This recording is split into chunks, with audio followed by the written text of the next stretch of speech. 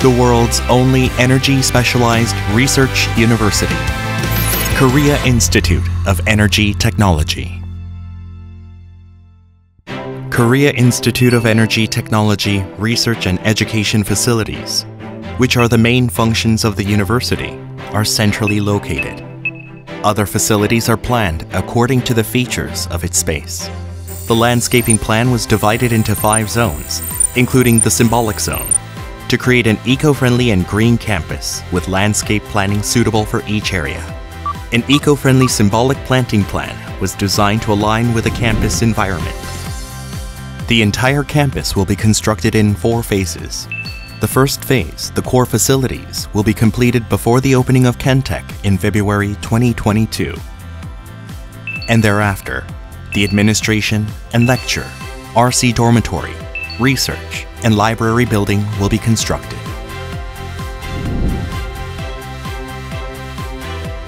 When you walk along the linear plaza from the RC dormitory, which is the student's main living space, you will be connected to the Creative Hub, the central space of the campus. The Creative Hub, which is a connection point to the research building, administration and lecture building, library, and student center, is a symbolic central space of Kentech as an interdisciplinary institute.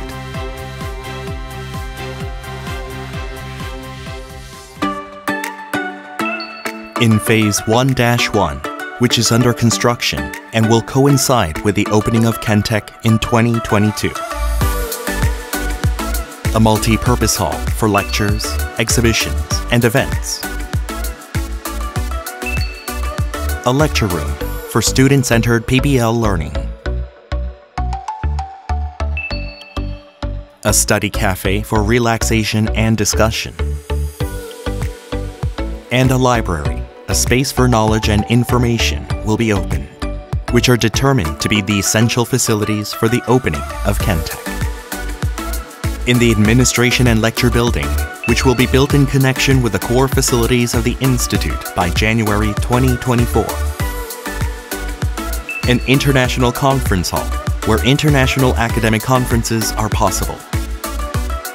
A makerspace where students can realize their creative ideas a main auditorium that can be used for various purposes, such as lectures and events, a high-tech classroom equipped with state-of-the-art facilities, and a creative space for communication and collaboration will be established.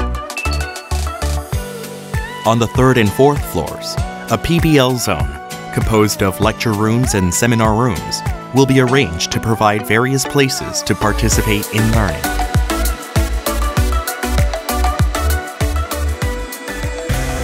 we invite you to the Korea Institute of Energy and Technology, the world's only energy specialized university that leads to new energy technologies and contributes to the prosperity of region, country, and even mankind. Korea Institute of Energy Technology.